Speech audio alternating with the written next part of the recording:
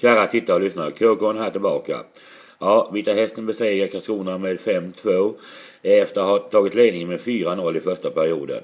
Visst, där får man stor hjälp av domaren. då man får alla utvisningar med sig medan Karlskrona inte får någon utvisning med sig. Resten av matchen, ja, den vinner ju Karlskrona. Eh, men som sagt var, Vita Hästen vinner 5-2. Däremot mycket, mycket mycket att eh, klaga på angående arrangemanget runt omkring.